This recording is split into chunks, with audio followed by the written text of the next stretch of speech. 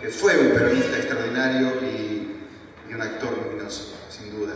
Y sus proyectos, los proyectos del negro, esa, esa idea de estar siempre en el grupo, me acuerdo del grupo de gente de teatro, con esa gente también extraordinaria. Eh, su condición de hincha de fútbol, que lo tienen todas las paredes de Argentinos Juniors, su condición de militante que hace que un sindicato lleve su nombre, la posibilidad de que hayamos hecho juntos una película como Operación Masacre, que me decía Perla que la pasaron hace dos o tres días, y que le dio a él también la posibilidad de irse con esta maravillosa cosa de lo que es un actor, un actor popular, un actor militante. ¿no? Estoy tratando de escribir no sé si será un libro o algo, copiando entrevistas que él ha hecho a lo largo de su vida.